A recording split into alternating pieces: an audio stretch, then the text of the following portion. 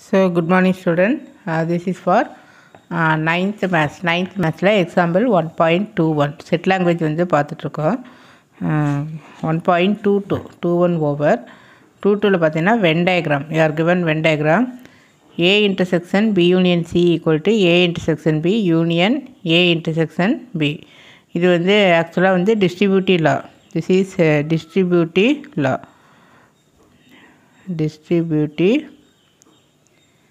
லா அதாவது இந்த இன்டர்செக்ஷனை டிஸ்ட்ரிபியூட் பண்ணுறோம் ஃபஸ்ட்டு பிக்கும் அடுத்தது வந்து சிக்கும் டிஸ்ட்ரிபியூட் பண்ணுறோம் so A intersection B union A intersection C இப்போ வெண்டயகிராமில் எப்பொழுதுமே ப்ராக்கெட்டில் என்ன இருக்கோ அதுதான் ஃபஸ்ட்டு ட்ரா பண்ணணும். ப்ராக்கெட்டில் என்ன இருக்குது பி யூனியன் சி ஸோ இந்த பி யூனியன் சி வந்து கம்ப்ளீட்டாக ஷர்ட் பண்ணி காமிச்சிருக்கு. நான் ஜஸ்ட் இப்படி லைனெல்லாம் போடக்கூடாது. சடனாக நான் போட்டேன்.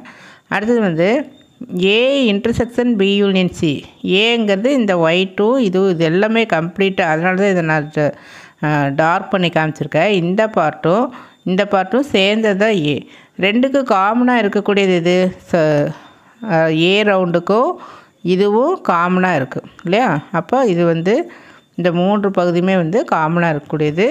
This is A intersection B union C அடுத்தது வந்து ஏ இன்டர்செக்ஷன் பி ஏக்கும் பிக்கு காமன் இது. இந்த பார்ட் வந்து ஏக்கு பிக்கு common and A intersection C ஏக்கும் சிக்கும் காமனாக இருக்கிறது இந்த ரீஜன் ஸோ எப்பொழுதுமே இந்த செகண்டும் ஃபிஃப்த்தும் சேமாக இருக்கும்.